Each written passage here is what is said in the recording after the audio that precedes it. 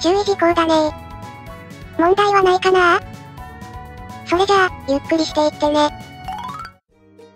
腹が減るのは秋のせいだと思うんだよ。食欲の秋だっていうくらいだし。そういえばなんか今年はやたら豊作で、私が吸血鬼の館や地底に行ってる間に、人里じゃ出荷先に破れた作物を使った大盤振る舞いの野菜スイーツ祭りがあったらしいじゃん。かどっかで似たようなお祭りやってないかな。おやおやおや、おやおやおやおや、そこの道行く腹減り魔法使いさんやい、測ったようなタイミングだね。おん？お前は確か、北条の神様だったか？っていうかお前、なんだかすげえ甘い匂いがするな。今日の香水はベニーモタルトの香りだからね。どういう心境でそれチョイスしたんだよ？美味しそうな匂い、腹減りを促す appetite なノートってやつね。どっかの飢えた貧乏巫女にかじられても知らんぞ。大丈夫大丈夫、空腹を煽っておいてタダで返すなんてひどいことしないわ。秋の楽園にご招待。秋の神々を信仰せざるを得ない体にしてやんよ。秋の楽園だそんなややこしい言い方をしていないで、普通に招待しましょうよ。あ、お姉ちゃん。そっちは紅葉の神様か、秋の神様姉妹が揃ったな。あの、私に何か？いや、そういえばお前もお姉ちゃんってことは、妹に浴場とかするタイプなのかなと。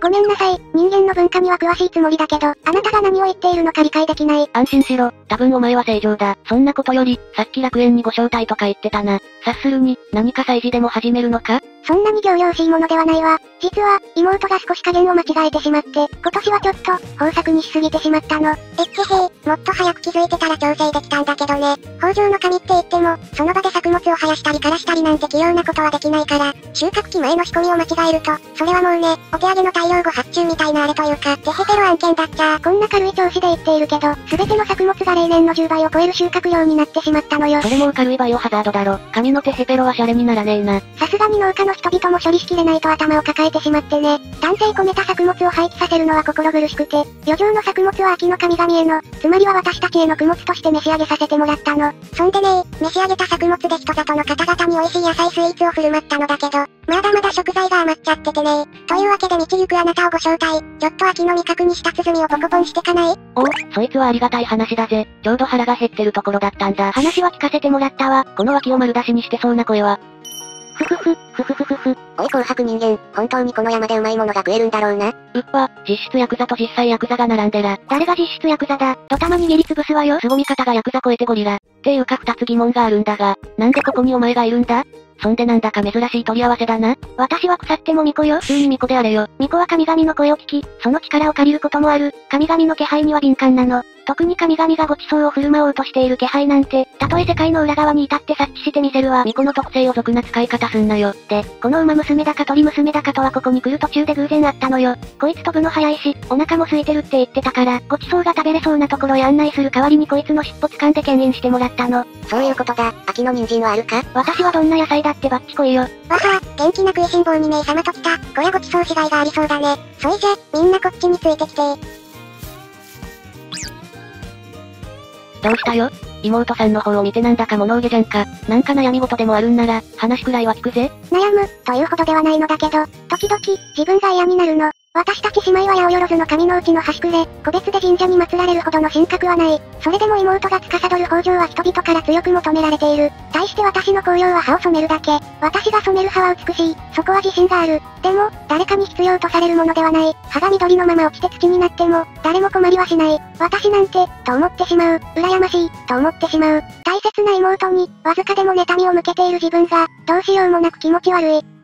ごめんなさい、こんなこと、あなたに聞かせても困らせてしまうだけ。陰気臭くてダメね。まあ確かに、紅葉を見てても腹は膨れないし、北条と紅葉、どっちか選べって言われたら私も北条派だ。でもさ、八百万の神様って、誰か一人を選ばなきゃいけないもんじゃないんだろ？私はお前も好きだぜ。腹は膨れなくても、お前が塗った葉っぱは綺麗だしな。おおむね同意見だけど、紅葉でだってお腹は膨れるわよ？お前は妹さんの方についてったんじゃないのかよ？さっきも言ったでしょ。私は巫女。自分の神社とは関係なくても、なんかしょんぼりしてる神様を放っとくってのはね、構う坊主だけでも見せとかないと。相変わらず一言余計なんだよな。つうかお前、紅葉で腹が膨れるって、貧乏こじらせてついに見境がなくなったか？相変わらず失礼なやつね。ここに来る途中、あのヤクザな馬娘が紅葉に染まってる山を見て笑ってたわ。キムー、こりゃ綺麗でいいや。秋でも花見ができるじゃん。最高。花じゃなくて葉っぱだとなんて言うんだ？ま、いいか、酒の魚には変わらないさ。今度組の連中を連れてきて宴会しよっと、ついでだから商売敵の連中にも声かけてみっか。なーに、酒の席にシラフのあれこれを持ち込むような無粋な連中じゃないよ。さすがに紅葉を見て宴会ってのは珍しいけど、紅葉を見るためにピクニックをする手合いはよくいるでしょう。葉っぱが赤く染まるだけでも、誰かと食事に出かけるきっかけくらいにはなるのよ。なるほどねだから紅葉でも腹は膨れる。ってか、それだけじゃない。紅葉を口実に集まった中で結ばれる縁や、深まる縁がいくつもあるでしょう。紅葉の神っていうのは、葉っぱを染めるだけで誰かと誰かの縁をつなげることができる神様。縁をつなぐ神様なんていくらでもいるけど、代わりがいるからあんたが不要になるわけじゃない。あんたは必要とされている神様よ。少なくとも、賑やかなのが好きな連中にはね。